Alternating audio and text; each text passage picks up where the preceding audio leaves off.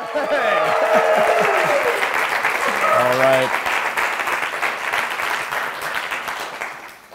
Thank you, everybody. It's good to be back.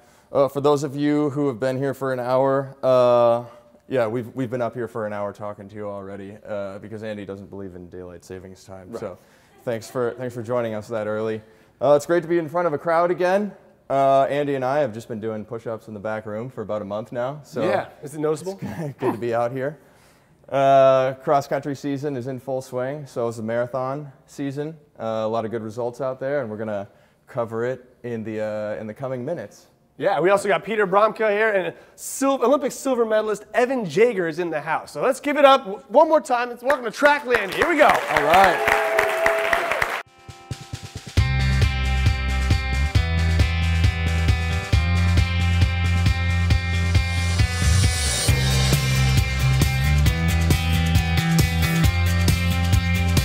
Said it was called Take the Bridge. Uh-huh. So I took the bridge.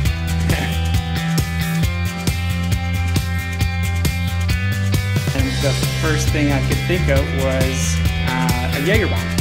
So a Bomb! A Jaeger bomb!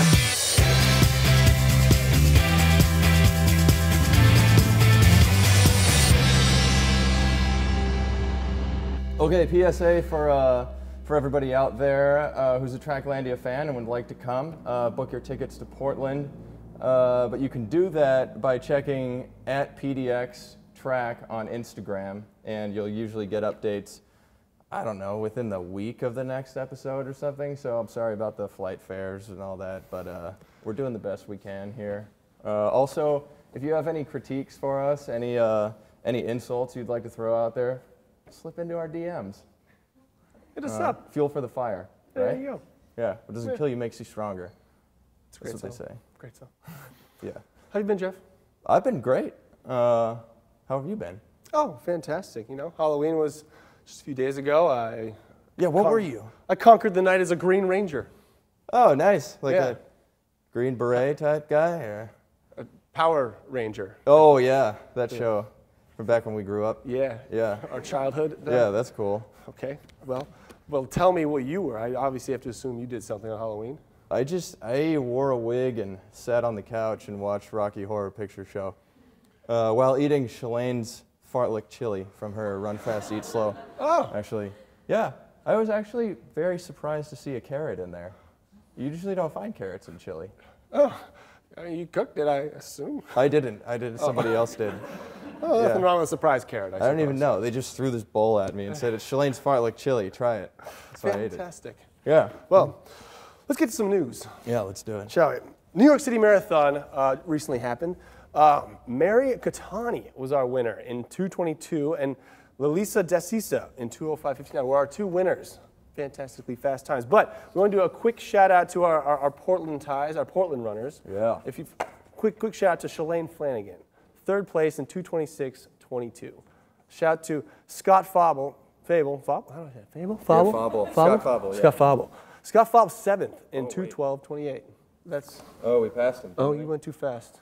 No. Nope, that's not right either. Oh gosh.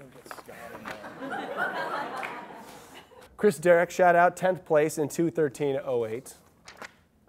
Carrie Dimoff, 14th in 3, 231.12. Oh, there's Scott. yeah.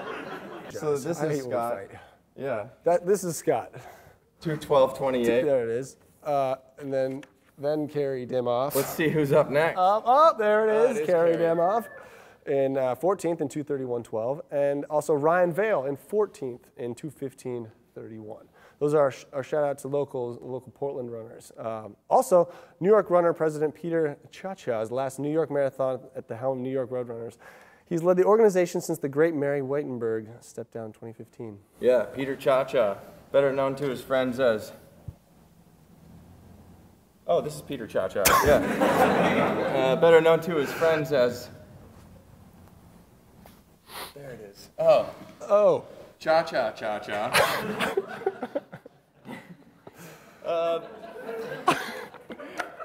had to wait for that. we like the Cha Cha slide. yeah. Better known to his friends as Cha Cha Cha Cha. Uh, his retirement party is sponsored by the New York City's title sponsor, Tata Consulting Agencies. which makes it the Ta Ta Ta ta cha cha. So if you've gotten a uh, if you've gotten an invite to this party, a nice gift for Mr. Cha Cha might be one of Ben Blanken's tiny ships. Which, if you watched last episode, uh, this is what Ben does in the off season. He goes out, chops down trees in neighborhood parks, builds canoes out of them. Buy yours at benblankenstintyships.com. Yeah. Uh, so this, yeah, this year's race was another successful event in New York, and uh, the New York Roadrunners continue to be the pinnacle organization for road racing in the U.S. And we would like to wish Peter Ciaccia a very happy retirement. All right, moving on. Cool. All right. We're going to edit out that gap so it just sounds like the applause came right after that. Sorry, we didn't give you guys a cue or anything. Yeah. Those are bad. All right. Yeah, so we now know uh, what Sydney McLaughlin will be wearing on her feet when she sets the world record in the 400 meter hurdles. Uh, yeah, she supposedly, uh, in a study done by Let's Run, uh, interviewing a lot of these agents out there, they said that her, her contract could be worth anywhere from $25 to like over 1.5 bill- million dollars. Million dollars. Could be billion if she won the lottery. We don't know. Yeah, if she got that 1.6 billion, then she doesn't even need like a New Balance contract. I, I don't know who won that. Do we know who won that? Someone from South Carolina. Really? Yeah, Check her address. I don't know. New Balance could be saving a lot of cash right now. that could be very true. Uh, also, New Balance sponsor sprinter Trayvon Bromell uh, has released a music video entitled Survived, chronicling his experience growing up in the South and perse- persevering through rough circumstances. And from our trained ears, Sounds pretty sounds good. pretty good. Sounds pretty good. All like right, it. very good. Yeah. I mean, I don't know. I don't know a lot about that kind of music, but it sounds good. Yeah, sounds all right. You can find it on the same service that hosts your favorite niche small track focus series. It's on YouTube. It's on YouTube, yeah. It's on YouTube. We're on YouTube also. That's us, small track. Yeah, other music videos you can check out are uh, Let You Go by Ricky Roxford. There it is. Eric Jenkins. And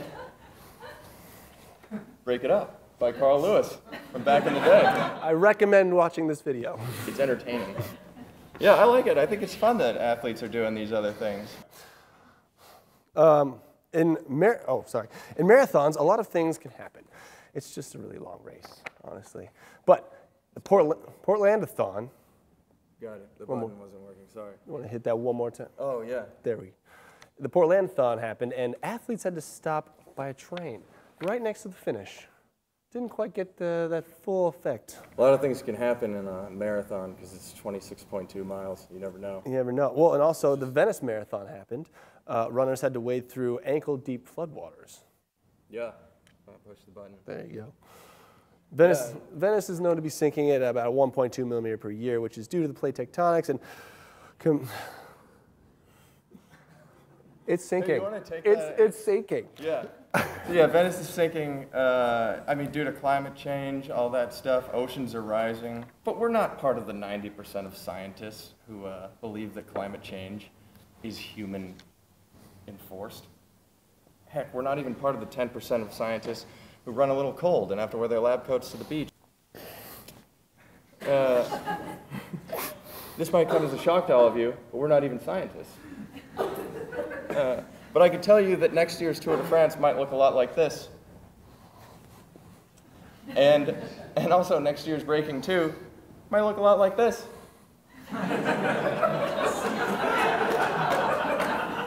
Heck, we're not going to reverse course at all. Let's just go for Breaking 1. all right. We're back to some serious business here. Yeah, right, right. Half marathon world record was broken recently. Abraham Kiptum in, in Valencia, 427 pace per mile, ran 58.18. Yeah, and in our opinion, not enough of a fuss was being made about this race. And I think it has a lot to do with the term half marathon. Go on. All right. I think it's demeaning. I think uh, the term automatically compares you to the full marathon. So it's like the JV marathon, the not as good marathon, the RC Cola marathon. You know, Andy, the origin story of the marathon is poetic. Phidippides ran from Marathon to Athens to tell the Athenians of the victory of the Greeks at the Battle of Marathon. And he did this because he was filled with joy. What does it say? From Lucian's account, Phidippides brought the news of victory from Marathon and addressed the magistrates' session when they were anxious how the battle had ended. He said, Joy to you, we've won. And there and then he died, breathing his last words with the, his last breath with the words, Joy to you. Oh, the half marathon? Yeah, it's half of that. the marathon actually killed a man. You only ran half the distance. It allows your smartass uncle to say, What, you couldn't run the full marathon? It's a respectable distance, Andy, so what if it didn't kill the first guy that did it? If uh, Phidippides had handed off 13 miles in, you might still be alive today.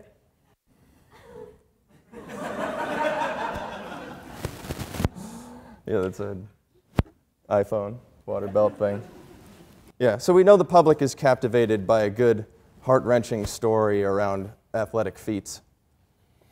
Uh, so, what we want to do is we've attempted to capture uh, this modern saga of the half marathon in a story that is beautifully written by one of our interns, actually. So, picture this a cool night in Eldoret, Kenya. Our story's hero, Abraham Kiptum, exits the club. His boys have gone home long ago, so he must find his own way back. It's 13.1 miles back to his pad.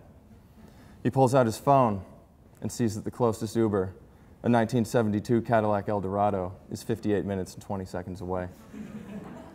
He knows that if an Uber is going to take that long, a taxi isn't even worth it. He pulls out his earbuds and plugs them into his phone. Scrolling through his playlist, he selects Bob Seger's Running Against the Wind album from 1980. The album's only 40 minutes and 24 seconds long, but the remaining time will allow him to reflect on the past week.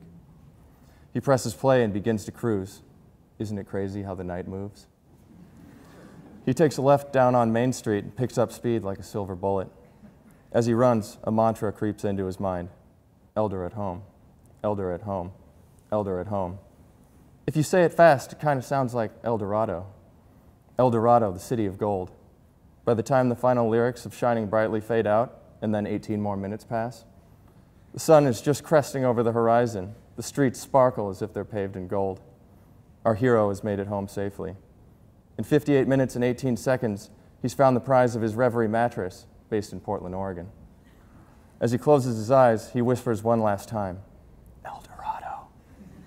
Don't call it a half.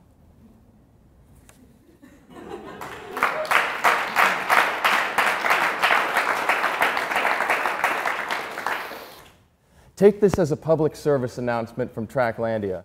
Don't measure your performance in the El Dorado based on the marathon. It's not the size of your race, it's how you fill it. In this season of the marathon, don't sell yourself short. Be confident in the length of your race. Chicks dig confidence, and so does Evan Jager. All right. Woo! Gonna need a gonna need a minute to recover from that one. Yeah, let's take a breather on that. Uh, the corporate world can be mostly focused on the bottom line, but Nike did something extraordinary recently. Uh, they signed a kid named Justin Gallegos from Southern California to a professional running contract. Uh, Justin has cerebral palsy, uh, but is emphatic that is not a, dis- a disability. He's used to it as a way to inspire others to go after their goals. Incredible, honestly incredible that Nike is giving him a platform to reach a broader audience. Is John, you know John Truax? It's John Truax who set that up. Yeah, and I think this is just great because uh, It is. typically, or you always hear that the, the goal of signing professional athletes is to inspire many more people to do great things. And they do, they do do that. Uh, but when you have somebody like this, who every day has to go out there and overcome an obstacle, uh, like we all do, uh, it just allows, allows you to, to get your work done and to be inspired and go after your own goal. And uh, I think it's, it's amazing that they're, they're allowing him this platform to share that message. Yeah. Uh, but yeah, John Truax, he's a heart and soul of, uh, of Nike running, in my opinion. For That sure. uh, yeah, But it, it only seemed right to, to, to wrap up our news and notes segment with, with a, a feel good story like this one. Uh, and so, well, without further ado, we're going to we're gonna pause for a station, station identification. Yeah. So. All right, that's yeah, that's the news. That's the news. Okay. Okay, so our first guest has produced some amazing articles as well as racing performances. Uh, his article, The Marathon Doesn't Owe You Anything, has been widely read and shared amongst training partners. He's a local runner repping the BTC Elite. Please give a warm welcome for our friend Peter Bromka. Oh, look at that. Peter. There you are. Thank you for having me. Oh, absolutely. This was at uh, Take the Bridge not too many, no, not too long ago. Yeah. I was getting my ass handed to me by couple faster dudes, but just trying to look good for the cameras. So it goes. Yeah, that's how it is. It's all for social media now. yeah. Yeah, you got out early in that race, right? Well, they said it was called Take the Bridge. Uh-huh. So I took the bridge. and then there were three and a half miles left. There were other bridges. Right? totally out. but uh, I did get a Strava, Strava segment that uh, is hanging in there by one second. Oh, good. I'm Still. actively uh, updating and flagging people who take it away from me, but it's still in there. It's still Oh, really? Yeah. Yeah, But, uh, I don't know a whole lot about the Strava thing. Is It's it? an internet phenomenon. Yeah. okay. I have been told that you have a, uh, a Strava segment in front of your house, though. Uh, yeah, there, a friend, uh, you know, you can make your own segments. He came out, made a segment in front of my house. Then another friend actually was drinking a cup of coffee, came out, and I caught him coming down the block. I was like, "Hey, you!" And he's like, he got startled and just turned around. He was he was coming, you know, trying to take Bromka's block. So your buddy just made a segment in front of your house. That said, "I own your block." and then he took it. well, then yeah, and then I took it because I live there. So I mean, You gotta I, put a flag. tried to represent. But then yeah, other guys, other friends. I don't think it's widely known about, but he now it might be. Yeah, and now no, I'm at risk of losing it. Yeah, Um, we but, won't reveal yeah. your address. Yeah, yeah, it's okay. You Yeah, are you it listed? Yeah, it's all online. Okay. All right. Thanks for having me. Yeah. Thanks for coming. Thank you. How have you been? Good. Yeah, uh, tired. Just training for the next marathon, a month away. So I'm at that like month out where everything hurts and you're tired all the time. I've never done a marathon, so I don't know what that's like. I wouldn't but, think so. uh, but yeah, that sounds. It sounds like a taxing experience. It's tiring, um, but it's also fun because you find other crazy people who are willing to meet up for runs and just you know make it normal. Yeah. Sort of like okay, I guess like six, 7 a.m. on Saturday, that'll be a normal time to go throw down and be delirious. But Works for me. Yeah. But uh, yeah, you've written you've written a lot of articles about running and and uh, in particular the marathon. Um, and this one, the marathon doesn't owe you anything. Uh, got a lot of coverage recently. Yeah, sort of took off. I, uh, it all started a couple years ago. I said, Tracklandia is going to come out in a couple years. How do I get on there? Oh yeah. Well, Yeah. Okay, I need to build it up. Um, no, actually, This is good. Um, A lot of kids out there thinking that same you got to thing, think right? the long term. yeah, start now. Um, no, it's pretty. It was cool. I um, four years ago, I ran the Chicago Marathon. At at the time, my father was going through a lot of health uh, conditions, so in a sort of meaningful way, the two smashed together and created this story where I met my goal. He was success, had successful heart surgery. I'm not going to cry. Um, and it just it made so much sense as a story that I wrote it up and just put it online. Like I don't know who will appreciate this, but um, a lot of people did. It got passed around. Um, I'll brag for a second. I sent it to Amby Burfoot, the former editor of, course, yeah. World, and he, he wrote me back, which I didn't expect. And then he said, "You know, Peter, I get a lot of these, which I expected." And he said, "And most of them are shit."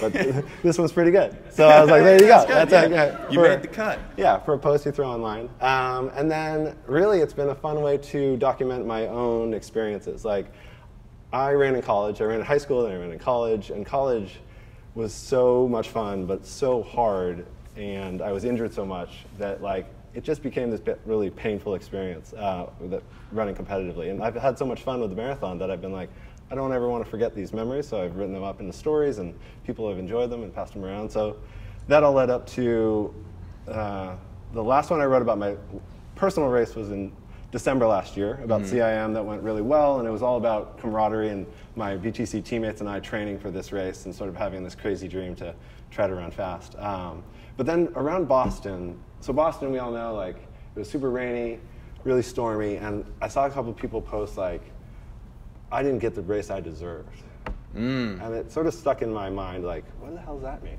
Mm-hmm. They didn't get the race they deserved. Desi Linden won. It was amazing. Yuki like came out of nowhere. Like it was a great day, and I, my reaction was like, marathon doesn't know you shit, man. like, like that's the whole point, and that's what's so amazing. And so as I started to unpack it, what I realized is like I've actually done well in races where people have been like blown up because they're like, I was supposed to get a good day, tailwind, you know, and I'm like, well, I don't know, let's go. Um, So you don't expect anything yeah, from, I mean, from this race That's going the into it. And, I say that, and then you know, a month from now, I'm still I'm still checking the weather app. Like, come on, give me some. Oh, sure, weather. you Yeah. want a good one. Yeah, you want Yeah, a good one. yeah. Um, but the the best part about it is like I always say, like in middle school, you run the 800, and you're like as good as you are, and then in high school, certain people are really good at the 800. I'm looking at you, Right. and like rock at, and like some of us get left in the dust. and then in college, not so good at the 800 again. You find out there's better guys in the 800. yeah. people who sit in the seat before me. So then you kind of get to longer distances and you get to the marathon and you realize, oh, there's all these components. And I think it was uh, Brad Hudson said years ago, he's like, all pro runners think they could run 210. Because that's five minute pace. So it's like, 210, right I could run 210 all day. And he's like, cool. You know how many people have run 210? You know how many people actually run 210? And then sure enough, every year, like all these guys are lined up, they're going to run 210. They don't run 210 because there's so many variables. Yeah, Um, and it's interesting when you watch the end of these things too, because I, I watched the end down in Sacramento last year, and traditionally when you watch the end of a track race, the winner looks good. Like he's like he's like floating to the finish line. People behind him might not look so good, but the winner usually looks good. But in this case, like the winner of the marathon looked terrible. It's like he's dancing on sticks trying to get to the finish line. And then it was Tim Ritchie last year. And then he crosses the finish line and just pukes everywhere. And it's like, yeah, you're not gonna you're not gonna skate by this one. That's how it happens, It's yeah. it's a rough day. That's the beauty of the like the last six miles is you often hear from people who are less experienced like, oh, I, I just felt like shit that last six miles, and you're like, uh huh. But that, Like that is the marathon, and then what'd you do about it? Like how did you weather that storm? Yeah, that's what you're saying. People love about it too. Yeah, yeah. It just like sets up this this thing where it smashes everyone, and then you see where the chips lay. Whereas you know, you get out, it's a four mile race. Some of the guys, recent UP alums, we have other uh, people from around the city who I'm like, pretty much every damn day, you're gonna beat me every damn day. So, but when you're running, I ran New York a couple years ago, and pros are walking along the side of the course because like their day's done. And you're like, holy shit, let's go, let's go, let's go. so you're just saying that you're super tough out there. You can- weather it better than anybody, right? I've definitely set myself up for failure at this point. Uh, But it helps to have a guy, a group of guys to train with, and you train with a good uh, BTC elite group. You're out there, Yeah. uh, a lot of the weekends and week workouts. Yeah, I think it's it's been super fun. At some point, my buddies who don't run are like, "So you're that's basically golf. Like you get like five hours away with your buddies hanging out." I'm like, "Yeah, it's kind of like golf." And my buddies who fly fish are like, "That's like fly fishing. Like Yeah. time away with your buddies." Um, and it is. It's like a it's become a thing where people will write me from all around the world and be like, "Man, so inspiring. Thanks for writing this up. I train all alone, like in the winter. Like have no one to do any of my work with." I'm like, "Oh shit, that like that sounds really hard." Um, that's not sort of what they're hoping for Well, in that's response. yeah, that's what I love about the sport too. Is that like it's a sport that's very solitary, but because uh, you're the only one that knows what it's like, then you get a lot of other people who are just like that, and there's this community that, that develops from these loners who are out there. Yeah, we've running. linked up. I mean, I I know all sorts of people from different clubs in Portland because um, sort of at shorter distances you get these intense rivalries, you know, um, and then at the longer distances, I mean, I remember I know some guys in the crowd. I had no, no idea who they were, but leading up to Boston 14, I asked some friends like. Someone must be training for this race. Like, how do I find the people who will show up to Sauvie Island at 7 a.m.? And they're like, "Oh shit, you want to do that?" Like, yeah, call this guy. We're Yeah, gonna- where are my dudes? I need to show up some to the parking lot, sun's coming up, and like there's some random people you never met before. Like, hi, I came for a long run. I don't need a bunch of guys out there. I need dudes. Right? Yeah, that's exactly it. Yeah. All right. So you got this camaraderie with all your dudes out there. Are my dudes. But you also know that with fame comes uh, comes a lot of uh, ridicule. A little rivalry. Yeah, and you get uh, you got some haters recently on Let's Let'sRun.com on the message boards, some of the trolls, if you will. Know. Uh, we're out there. I think this is one message that I pulled off that said, uh, or it was referencing uh, your your goal of of uh, getting the Olympic trials qualifier. Ah, yes. Which is a big goal that you put out there for Yeah, yourself. decided to throw it out there. Yeah, which is a, it's a lofty one, but you're not too far away. But yeah, uh, this is a response from somebody uh, to that statement, and they said, "Can't wait to read Bromka's 9,000 word blog about his 227." How does that I, make you feel? I was overjoyed to hear. it. Uh, couldn't.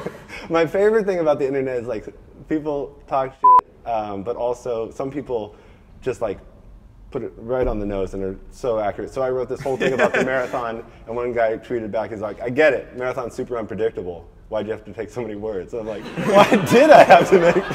I should have wrote, "The marathon is unpredictable." Yeah. But then you get into like the little rivalries, um, and it's been fun. Like the camaraderie the BTC guys and I have is matched up against. There's Greater Boston Track Club in Boston. We we go against them in the Boston Marathon every year, and then yeah, but this Well, statement. yeah, do you, yeah. Do you think I this is let- the dirty work of the Jacuzzi boys? It might be. Do you think it is? They left some crumbs along their trail. yeah. Well, yeah. What of made you think that? Because on social media they say "Fly the Black," and then his name was Fly the Black. Oh yeah. I'm putting one Right on the I'm, nose I'm there. jumping. I'm jumping to conclusions here, but uh, I love it. I like to say like no one can make fun of you more than you better be ready to make fun of yourself. So I sent it to my buddies. Uh-huh. 9,000 word essay about his 227, and my buddies wrote back like, if it's not 10,000 words, I'm not even opening it. You know? Like, it better just be, if you run 227, it better be a bunch of gibberish, just, just extends for pages and pages. Yeah, because you know those Jacuzzi boys are going to read every word too. they need some We, fuel. yeah, we act like it's, uh, you know, head to head, but I read everything they post, and I, I'm guessing. Yeah. But you guys don't like each other at all. Well, they're not do you? nice. yeah, good. Well, Yeah. it's good to have uh, good to have fuel for the fire. Yeah, especially in the last six miles. Yeah. Is that what you're going to be thinking about in the last six miles? Yeah, pure utter hatred of the Jews. You got to run on hate. That'll get me through. Phidippides ran on joy. You run the marathon on hate. Yeah, that's it. Thanks for the coaching. Yeah. Uh, thanks for having me. Hey, thanks for coming on. Yeah. Uh, yeah. Before you leave, I, I uh, you said that you had a story to tell us about. Oh, my Jager story. Yeah. Oh yeah, everyone's Oh, got a you Jager pronounce story. it with a Y? I mean, the look. Oh, how is it pronounced? Is it Y or J? J? It's J. Well, we all learned something today. Yeah. So I have a three-year-old son, and this feels like a non sequitur. I'll bring it back. Um, a couple years ago, I my parents offered to pick him up from daycare, and you think, oh, night off. As long as he's alive and fed the next day, Sure. he'll be good. So I'm going about what you do when you don't have a kid. You just carefree, don't even know what time it is, and text my dad, "How are things going? Like everything good?" I could see you on like a foam roller in this situation. Yeah, just I'm doing extra core. Yeah, yeah, but yeah, Uh, really relaxed. Um, everything, I think the text, you know, everything good? And you're thinking like, is he fed? Is he going to get to bed anytime soon? And you get back, uh, yeah, just had, had him signed by an Olympian. Not the response you expect. Do you have my photo? yeah. There you go. Oh yeah. so poor Evan ran into my father, who's shameless, in the grocery store. my, my dad doesn't want an autograph, you know, to sell online or to keep or keeps like no, like no, sign my grandson. Signed by.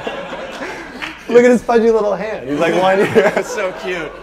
He's gonna remember that forever. And my favorite And uh, then did your dad get his head signed after that? That- permanent marker. Now my It's a tattoo. my favorite. Uh, I heard that this story. I told this story to my friends and heard it worked its way back to the BTC network. And then the way it was told to me was Evan walked into the kitchen and his pro teammate said, "You're signing kids now." It like, got it got down to that. Fast. I got. Uh, yeah. It's not his fault. It's not his fault. It's Word my dad's fault. fast. Yeah. There you go. So Well, that's that's incredible. I'll get out of the seat. And let uh, well, well, yeah. Well, just a second. I just want to say thank you for being on. Thanks for coming on and uh, imparting some marathon wisdom to us. And uh, I hope you get a few Eldorados in there yourself, along with the marathon. But uh, best of luck down at CIM. Thank you very and, much. uh, thank you very much for coming, Peter Bromka, everybody.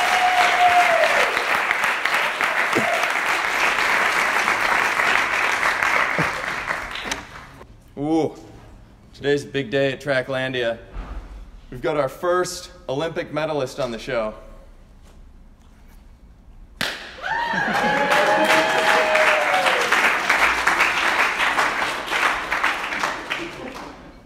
you like that?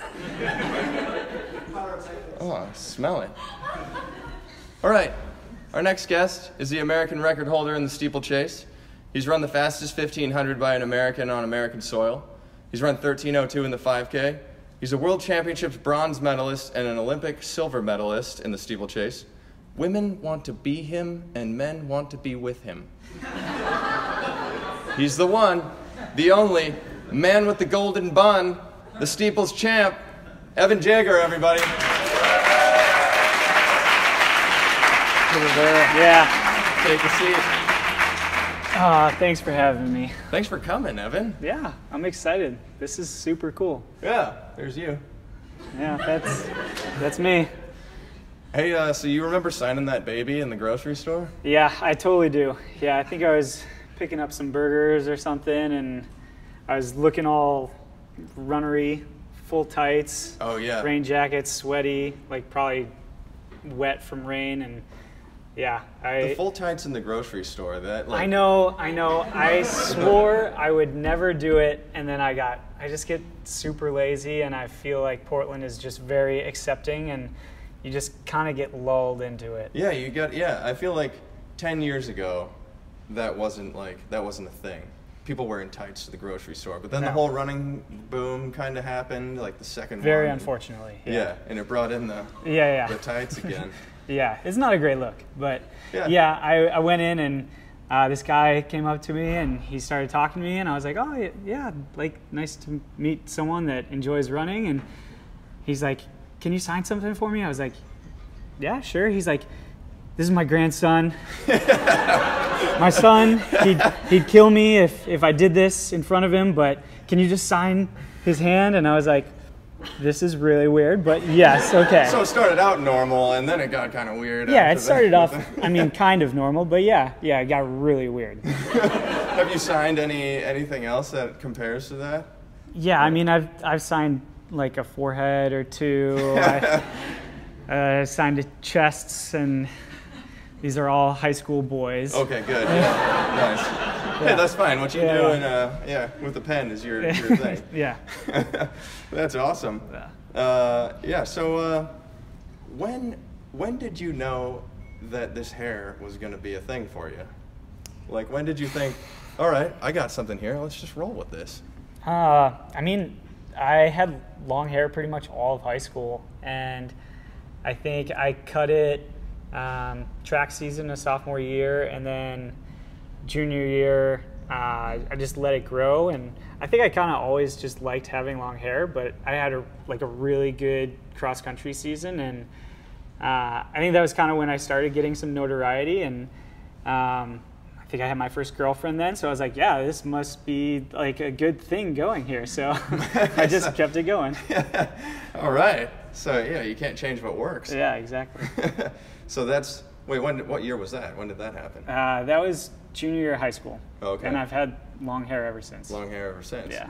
Because it used to be like the the down to here, and then you got the down. Oh yeah. I went. I had bowl cut for like a long time growing up. I had, uh, I had rat tail for like. Oh no way. Oh You yeah, did? yeah. I had the rat hair, uh, the the bowl cut rat hair, rat tail combo, for like a couple of years in like elementary school. Was that like a decision that you made? Yeah, it was. Oh, yeah, nice.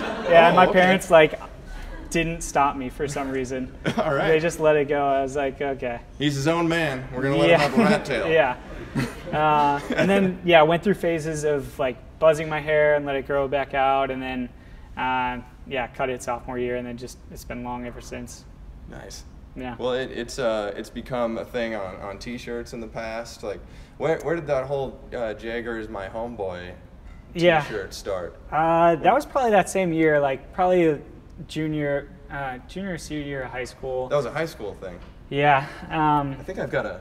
oh no. What's this? Wait a second. We've got a mouse pad. Oh here. yeah. Oh my gosh. Yeah, that's not a good haircut. That's Uh, all right. It's good. Yeah, that was probably the first one. Um, we had a, a pretty close family friend that was an artist. He is a really good artist. That's not like the best picture, but um, no, he's a really good artist, and I'm sure either my friends or my parents, I can't remember which, just wanted to make T-shirts, and he was super into it, and so they just kind of started it. Did it in high school, a couple of years, junior year, senior year. I was obviously super embarrassed. Um, all my Yeah. friends wore them down at State and cheered me on, but Well, that's cool. yeah, and, but it's continued, and Because yeah, I saw some at the trials. I think in like 2012 or something. Yeah, 2012, 2016, I think 2017. Yeah, it's uh, it's still going. People waving mouse pads around at the trials. Yeah, it's pretty much just my parents. okay. yeah, oh, those are those people. yeah, yeah. nice. yeah. Uh, so, well, you've been at the front of American steepling for quite some time now. What? How many years has it been? Like Uh, five, seven? six, years. Yeah, Seven. yeah, I guess so. Man, it's 2018, huh? yeah. It's going, it's going fast. yeah. Too fast. Oh, we're getting old. Uh, yeah. No, you still got a lot of time left. No, I'm old.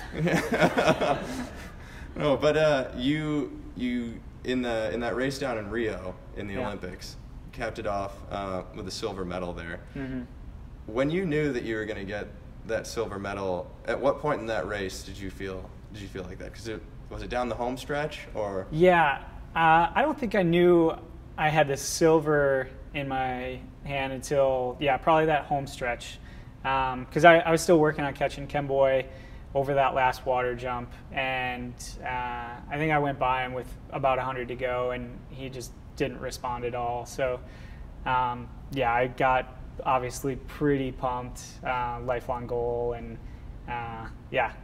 But I yeah I think I probably knew that I I 99% had like a medal in my hand, probably like three laps out, and that was that was pretty cool feeling. but you had to stay focused there. Yeah, for sure. Um, yeah, yeah, Kinda, I guess definitely. in a steeplechase, right? Uh, you're yeah, going over yeah, barriers and definitely. stuff. Yeah. There's water. Yeah, I've there's, seen it. There's a lot of shit happening. yeah, yeah. You don't know what can happen in a steeplechase. I do know what can happen in a steeplechase. I was, I, yeah. Which that was an incredible race too. What we're talking about is Paris when you Yeah. set the American record, uh, fast, probably the fastest time ever uh, Falling. falling. Yeah. Yeah. Yeah, but uh, uh, that, what is that like running to run eight flat, and uh, and, and you know that there, there's more there's more in you. Yeah, I mean it's super disappointing. Um, I didn't mean to go there. Yeah. right? I was I was putting a yeah, it was it was it was a re- really weird um, mix of emotions. Uh, on one hand, um, like I had this super good opportunity to kind of go just finish the race and uh, do something um, that only like 11 guys have ever done in the history of the sport and um, no guys uh, born outside of Africa have ever broken eight. So that's obvious. That's been a huge goal of mine since I started steepling. yeah, and, of course. Um, so like having it that close, like you could taste it, and like just messing up that late in the race was pretty devastating. But uh, at the same time, um, that was kind of that was for me like my coming out party, and that was when I kind of realized that um, like I deserve to run with the big boys now, and Mm-hmm. um, that kind of opened my eyes up to what was possible for the rest of my career. So it, it was like it was really good, but also like terrible at the same time. Yeah. Well, I I'm glad you feel that way about it. That you feel good about it because I know like Yeah. coming from coming from me, it probably doesn't mean a lot, but I think that like that showed a lot of people like, wow, this guy's the real deal. He can do that and run eight flat, and you probably you scared a lot of people when you did that. Yeah, it was it was fun, but it was it, like in the moment, um, running the race was super super fun. Like I've I've never felt better in a race, I don't think, and um, yeah, that came crashing down quick, but it was Alright. still it was still a good experience. nice. Yeah. Well, let's let's move on. Yes, please. So you you've run in Paris and Yeah. you've run in uh, Monaco and you've run in Rio and what's uh what's the coolest place that you've you've competed in? Uh, I think Monaco is definitely my favorite stadium. Why is Um, that? It's it's this super very intimate uh, track. Um, not it's definitely not the biggest stadium I've ever been in. It's it's probably only like I don't know, like 40 or 50 rows deep. Um, just seats completely lining the stadium. Uh, the audience is like they're right next to the track, so uh, it feels very intimate. It's really loud, um, but also it's like it's one of the most beautiful places like I've ever been to. Oh, it's yeah. right on the Mediterranean.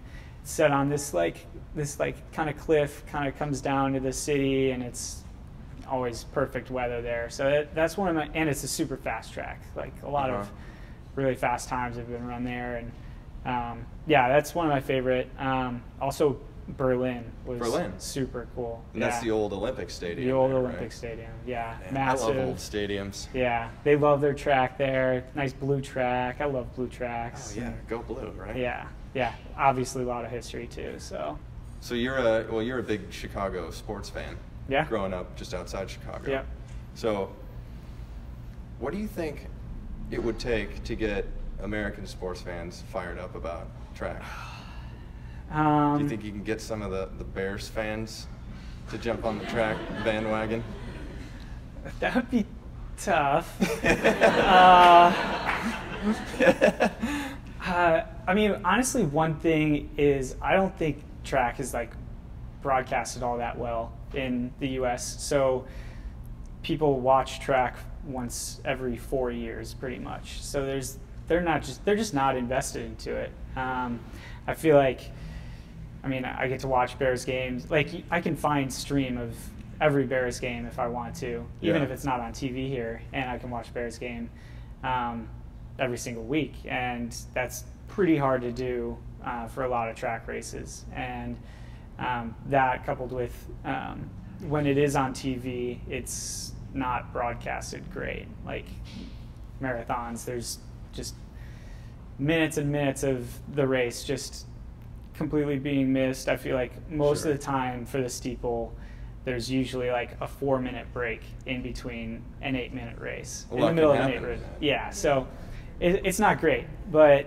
um, I think uh, I think one of the things um, Bowerman Track Club does pretty well is uh, we have a lot of our pro athletes engaged with some BTC youth runners, um, and I feel like that'll be helpful. Like just having some sort of a connection with uh, the community and Grow the fan base Exactly. Yeah, and um, I don't know, maybe maybe beer in the stadium. Oh, that'll help. Yeah, Yeah. That, that helps.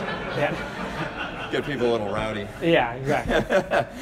yeah, I mean, your, your group of friends from back home that you stayed in touch with, uh, they're big, like football, baseball fan types. Yeah. They're your boys. Yeah. Like they're The- the boys. Chicago. Yeah, the boys. Yeah. Chicago boys, sports fans. oh yeah, they're boys. Yeah. But uh, yeah, but they follow your career, yeah, they do. and uh, yeah, they, they watch your races. Yeah, so- surprisingly, I'm still. I'm, yeah, like in high school, yeah, they were into it because they could go to the, the meets. But yeah, I'm, I'm. They're still like texting me before pretty much every race, like how how can I watch the race? So the like, boys just know without being told that. Uh, Yeah, I think uh, my my parents post a lot on Facebook about Oh, my upcoming races, so that helps. yeah, so they'll get off of ESPN.com or whatever, and then Yeah, look at Facebook for a little bit, Yeah, see yeah. when you're racing. yeah. Nice. Yeah, what do they think of your profession? Um, Be uh, honest, come on. What do the boys think? They uh, they make fun of me a lot. um, it, I mean, one one guy in particular, you met him, Nick. He uh, he brings up, um, he says stuff all the time like, oh, like, uh, like we should we should go do this, but you know Evan, he'll just he'll just finish second, or Oh, oh, Like, they pull oh, stuff- hinting at your silver there, huh? yeah, like oh, I, come on. like I can't get the job done, I can't get the gold, so. oh, jeez. they uh, they poke fun at, at that a lot, and they just disregard like USA's and that kind of stuff because Olympics is the only thing that matters. To them, so, to the yeah, boys. Yeah, to the boys. um, yeah, I think uh, obviously short shorts. That's another thing. Um, you make fun of me for that. Um, yeah, pretty much. Uh, I mean, they're they're super supportive, but they also like they make fun of me more than anyone else I know. So they Well, you need that keep you grounded, right? Ex- exactly. I think that's what they're trying to do. yeah, Yeah. uh, yeah. You need those boys in your life. Yeah. Yeah, I've got some. I mean, this show has just got so big, you know, and it's tough to. Dude, I I understand. Yeah, you got guys coming up to you asking for autographs yeah, the yeah, grandchildren. Yeah, it's ridiculous. Yeah. yeah. My life's a zoo now. Yeah. Yeah. Sign babies. yeah. Yeah. Signing whatever. Uh, just somebody give me something to sign already. All right. uh, yeah, but you and the boys, uh, you were telling me that you had a um, a story. You were out one night in Portland. Uh, down, was it at the Dixie? And you had a run-in with a celeb. Oh yeah. Yeah. Um, this was a long time ago. Uh, this was yeah probably uh, 2010, 11. Um, my buddy Nick was out here, and um, as boys do, we went out to the the bar and uh, we ran into Mark Cuban actually, and The Mark Cuban. the Mark Cuban, uh, owner of uh, the Da- Dallas Mavericks. Yeah. And uh, they were in town playing the Trailblazers, and I, for some reason, thought it would be a good idea to um, ask him if he wanted a drink. And he said yeah for some reason. I don't know why. And I was like, oh, okay. And so I went to the bartender, and the first thing I could think of was uh, a Jaeger bomb.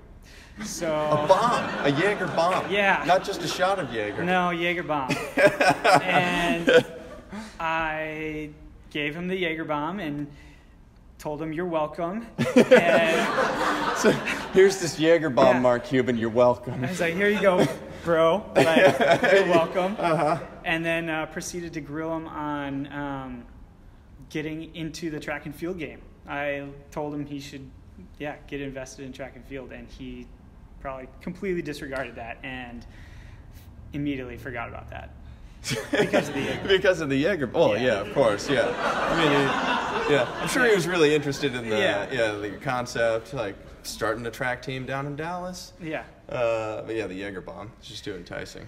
yeah, That'll put people over the edge. yeah. Um, Obviously. yeah. Uh, so yeah, I mean, uh, something I heard uh, is that you, well, you compare in steeplechasing, you've compared running up to the water barrier like doing a layup. Is that No. right? I've never said that. All right. I didn't.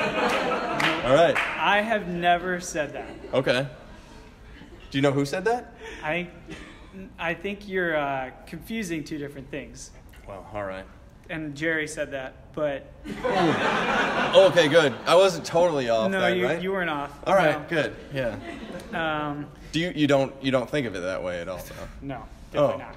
Really? Uh, Jerry thought for some reason that uh, I might be good at the steeplechase because I looked athletic doing a layup, Oh, nice. and that's why I steeple now. That's why you started. Yeah. Oh, wow. Good for you. yeah. Oh. I mean, most runners aren't like athletic in that way, skilled. Can do layups. Yeah, could yeah, Yeah. that's a tough thing to do if I you're know.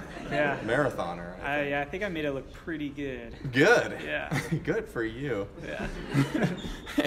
yeah, well, I think like looking at the steeplechase scene, it tends to be like a lot of scrappy guys, like guys who can hang in there, like just kind of grab on with their teeth. Tough Uh, guys. yeah, tough guys for. Not this guy. Well, yeah, I mean, I wasn't. Yeah, you you have like put a different kind of finesse and uh, and brought an elegance to the steeplechase that that wasn't there before. I appreciate that. Yeah. Are you thinking uh, when you're out there like, God, I'm just trying to run as smooth as I can? Yeah, I mean, I always just try to look as pretty as possible, and Oh wow. that's Here here I thought you weren't trying very hard. no, I try. wow. Yeah. Nice. No, um, honestly, uh, a lot of a lot of that has to. Um, I, I have to give credit to Pascal, my our, our strength coach and uh, my steeple coach. He was an Olympian in the steeplechase in 2000, and um, he just drilled good form in, into my head um, the entire first year, especially, but um, my entire career. Uh, we've been super focused on that, and um, yeah, I, I practiced hurdling multiple times a week, every week for the first year. So I, I was hurdling two or three times a week um, from probably like October until um, throughout the track season, um, my first season steepling, and uh, yeah, I have to give a lot of credit to him, and uh, we've yeah we've practiced a lot. Yeah, you guys have got quite the crew over there now. Well, Yeah. There's a. I honestly, yeah, I didn't think anything was. I didn't think we were gonna have a steeple crew for sure. Uh, my first year doing it, I thought I was gonna have to do steeple like by myself for the next ten years. yeah. And Well, you've made it cool in the U.S. and now everybody wants to do it. yeah. That's what it seems like. Yeah. Really? Oh, that's what yeah what I gather. Oh, okay. Yeah, take it from who me. knows? Yeah. But uh, this is. I reached out to some of your uh, your crew members over there and uh, just asked them if they had anything that they wanted to ask you Which crew about. members? Oh, over at the BTC. Okay. Yeah. Great. Are you part of a different crew? That. Uh, Well, my boys. uh, oh I, yeah, I would no, be no. worried if my boys were asking. If they had questions for you. Yeah. you. Well, we got a few here. Okay. Uh, let's see. Uh, this one. Uh, why is your nickname the American?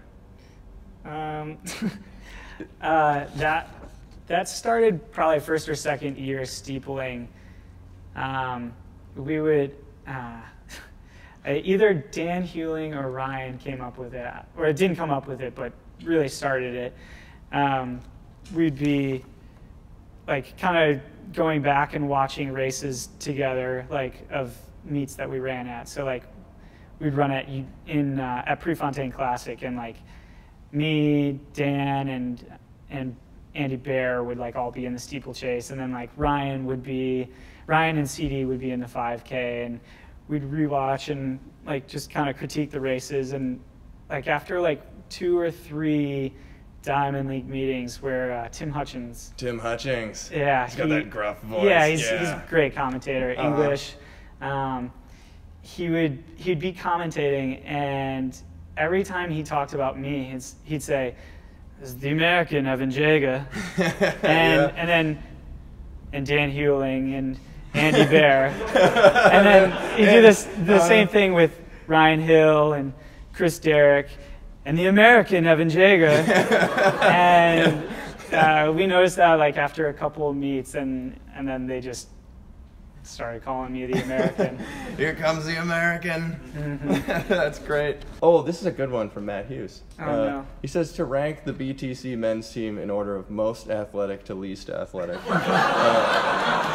oh, Th- this is yeah, this is a constant argument. oh, really? Oh Oh yeah, because I mean, we we play sports together, we play games together, um, and obviously like everyone thinks they're super athletic. Oh, and, sure. And Competitive with, with. Jerry calling me athletic doing layups, it kind of that probably sparked the conversation also. But um, So everybody knows where you stand. In Jerry's eyes, at least. tops, Yeah. yeah. for sure. No, if I if I had to, if I had to say, um, so Dan thinks he's the most athletic because, Of course he does. of course, You he hear does. that laugh out in the crowd? Yeah. because Dan is really good at stuff like bags or cornhole, if you call it cornhole. Wait, that's Uh, athletics to him? Yes. Uh, he's good at like frisbee golf. He's good at darts. Um, I'm the most athletic Yeah. in the group. and uh, it kind of stops there. Uh, but I, I would have to say Hughes is probably the most athletic. Um, Oh, this was his question, yeah. Yeah, he. I mean, yeah, he's he can pick pretty much anything up. He's pretty good at a lot of stuff. He played hockey growing up, uh, Canadian. soccer. Yeah, uh, yeah, obviously. They do, yeah. Um, All right, well, who's who are on the, Okay, the so- bottom guys? uh, the least athletic fellas. um, Just hang them out there. uh, probably Bumby, Ooh. unfortunately. Oh man. Well, uh, CD used to be really athletic, but th- I think the marathon has probably taken a little bit of a toll is that on what him. happened? Eh, yeah. Man. Yeah, he, he's CD's pretty good at basketball. He's I think he's good at baseball. He seems like a real fundamentals guy. He's a fundamentals guy. Masters Yeah, this. yeah. That that's. I think that's if he had to classify himself. A lot of chest passes. Yeah, bounce passes. Bounce even. passes, Yeah, yeah, yeah. Um, so, gosh, I might go Hughes. Um, I'll say myself. Okay. Oh, Um, it's humble. yeah. Uh, uh, Josh Thompson, uh, he played um, he played basketball at community college. So uh, I haven't seen much from him, but I think he's got to be pretty athletic. Um, he also claims to have dunked at some point. Oh, he's he- like a five nine guy, right? He's like five eight. Yeah. Wow. Yeah, he's. Uh, I, I haven't seen it, but if that's the case, it's pretty impressive. sure. Um, so I'll throw him up there. Uh, I think Ryan is. He's like sneaky athletic. Ryan Hill. Yeah. Um, I think most of the middle guys are all kind of. We're all just kind of throw blanket over us. Utility guys, yeah. Yeah, but I'd say yeah, like Hughes on one end, Dan definitely on the other. Oh, you're gonna put him down yeah, there, huh? Yeah, for sure. Yeah. All right. Yeah, Oh, booked by the Steeflers. yeah. oh, that's great. All right. Well, uh, we've got a, uh, a couple more questions for you before we let you go. But uh, going forward, uh, what do you hope to accomplish? Um, well, I would, I mean, I would love to finish off like the metal um, kind of collection. Because you got a silver and a bronze. Yeah. So I'd, I'd love to get the gold. And then obviously I've wanted to break eight for forever. So uh, Mhm. breaking eight is still a big one. Um, and aside from that, in the in the steeple, there's there's not too much left. Yeah, Uh, I'd yeah, say so. Another U.S. title, but I, I want to keep that streak going. Mm-hmm. Um, Is that at seven now? seven right now. Yeah. Nice. Um, and then, yeah, that's that's pretty much it. And then, I think when I get those two boxes uh, checked off, I think uh, I'll be excited for kind of the future and. Um, Calling up Mark Cuban again. See, uh, yeah, Well, you guys can get off the together. ground. Yeah, yeah, we'll figure something out. go out. to Shark Tank. yeah. yeah. Let me know. Let me know when that happens. Yeah, I'll probably bring you with me. Yeah, we could do a presentation somehow. Yeah, That's what we got for you, Mark Yeah. Cuban. yeah, yeah. All right. Well, before you go, we've got to play a game with you. Okay. So uh, we put this I'm together. nervous. Okay. Yeah. Yeah. I'm a little nervous too. I don't know what this is all about. okay. but uh, we're gonna bring Andy back up. Okay. Well, Evan doesn't know this, but uh, he's playing for uh, a Jaeger bomb shot. I might just lose. Okay, so we, we called this game Jaeger Jeopardy. Um, not everything is about yourself. It's just sounds catchy. But I like we have, it. We have three topics: running, Chi-town, hair, based mostly on yourself, entirely on yourself. Um, There's more to you than that, I think. But so you, you pick your category, how many points you want to go for. There's a question behind it. Um, as soon as I finish the question, you guys have to, you know, just like Jeopardy, buzz in. well, we just hit the table. I mean, we guess we could do that. I didn't really have time to go get buzzers. I was okay, panicking. Okay. Okay, all right. Uh, Jay, you're our guest, our guest, our guest. Would you like to go first and pick the first category? How many points you'd like to go for? Um, yeah, I'll go uh, running for three. Quality choice. okay. This runner won the 1500 and 800 double at the 2010 NCAA. It's the first time in 26 years.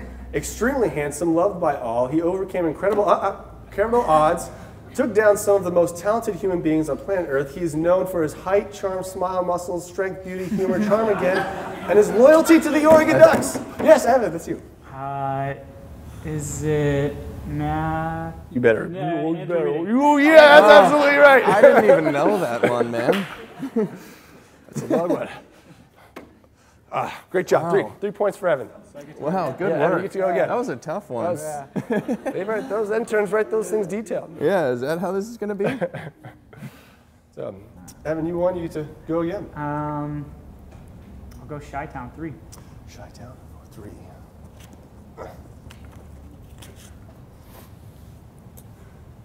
All right. Born in Chicago, this Hollywood actor is best known for his lead roles in Blade Runner, Indiana Jones, and Star Wars. Who is this actor? Really? What? well, you What hit is it. this? Wait, What? do I? Did you buzz in? Ooh, was it a premature buzz? Oh, can I do it? Ford. Oh, that's that's, that's, that's absolutely correct. It's Harrison Ford. Who? Who? If we win, who gets the shot? This is a good question. Very valid point. Uh, the the winner decides who gets the shot. Okay. There we go. That's fair. Well, you're. might want to try. Oh yeah, please. You might want to try a little bit, Jeff. uh, Evan, yeah, y- y- you're still up. Uh, hair for three. Hair for three. His original name is Scott Thompson. He's been in various movies, but is more of a stand up comedian. He is known by his stage name and his super curly red afro hair. Who is this comedian? Oh! Carrot Top. That is absolutely correct. It is Carrot Yeah. Top. I didn't know his name was Scott. Better known as Scott Carrot. Thompson. Scott Thompson, huh? All right, Jeff. Okay. Do I get to keep this one? You can keep that right in front of you. Oh, okay. There you go. Um, Oh, I'm nervous now. Jeff knows the rules. uh, I will go with Chi Town for one. Chi Town, 4 1. Happens every time. I don't know. Okay, I've never played this game before. it's true. Jeff has no idea how this goes. this stadium is second oldest in its sport and is home to the 2016 World Championship Chicago Cubs. oh, come on. Wrigley. Wrigley Field, Field. is absolutely correct. Okay, That's uh. two left. That's okay. Okay. Uh, let's go running one. Running for one. I'm gonna just- Oh, it's the daily double. Oh, it's the daily double. Now, the way this works, we've got our little timer here. I'll give you each 30 seconds. These are point, a point apiece, six questions, six potential points. So, Jeff, we'll have you go first. Do I have to do anything? You have to Just sit here and listen to you. I'm going to read the question. oh, okay. You can answer, pass. You're the man with all the answers. I hold the power. Get it? This is Jeopardy. Oh, because it's Jeopardy. That's, yeah, that's correct. Yeah. All right. You ready? Yeah. All right. At 59 feet, 8 and, 8 and 3 quarter inches, who has the triple jump American record? Christian Taylor. That's correct. True or false? Over 1 billion running shoes are sold over worldwide every year. True. That is correct. She won two world cross country titles without wearing shoes. Who was she? Uh, Zola Budd. That's correct. When was the first annual New York City Fifth Avenue Mile? 1980. 81. Oh! Who is the 2,000 meter American record holder? Uh, Steve Scott. Jim Spe- Spite, Speedy. Oh, Spivey. Spivey. Um, that is time, but for good, just for fun, how far did Bill Rodgers run in one hour to set the American record? Uh, Any guesses? 12.7. You're not serious. Yeah. Is that really a guess? Yeah. Oh my God, that's absolutely correct. Oh my god. Wait, don't you don't you round up there? 12.77. It's almost an El Dorado. Is that really a guess? Wow. oh, I am not. oh, I'm good at this I'm not game, excited. huh? I'm not excited. Wait. Did you get only get? Did you only get three? I think so. I don't know Two, how four, this six. works. Daily double. Daily double. Mm. So I give you double points. Hmm. Okay, Evan. This is not good. How many points does he have right now? I have Six, seven. seven. Mm, daily double for two. Two, four, six, nine. Oh. Nine. Okay. Oh my gosh. Okay, Evan. This is this could be for the game. Yeah. All right, for 30 seconds. Who is the American record holder in the steeplechase? Uh, Evan Jager. Evan Jager. He runs the, for the Bowerman Track Club. He's a PR of 329.97 1500. Who is this athlete? Uh, Lopez Lomong. Evan Jager. Wait, 329? It's 332. 332.97. Oh, I thought you said That's what I heard too. Who won, a, who won a silver medal in the Rio Olympic Games in steeplechase? Evan Jager. Oh my gosh. Who has won the, at least the last seven U.S. championships in steeplechase? Evan Jager. Oh my God. True or false? Evan Jager is better known as, oh my God, he's totes cute. You should tote talk to him. Ew, no, Karen, go talk to him. You're scared. Ew, dude, TTYL baseball. That's that's definitely false. false! Quick, finish this sentence. Jeff, you stink. How could you let our guest beat you? We rigged this game and somehow you still managed to let blank beat you. I think that's you. That's, that's, that's uh, yeah. Blank beat you. I think you just won. So yeah. I don't you. think I need to finish this question. Oh. All right. We know who won. Now. That wow. I. All right. All right, right. Evan, thank you very much for yeah. coming out today. Mm. It's thank been a pleasure. Yeah. yeah. And thank you to fun. all of you for coming out to Tracklandia. Uh, thank you to Downstream. Thank you to Portland Track for uh, allowing us to do this for as long as. Uh, they will let us do this. uh, and uh, we'll see you all next time. Uh, have a great evening, everybody. Okay, right. bye.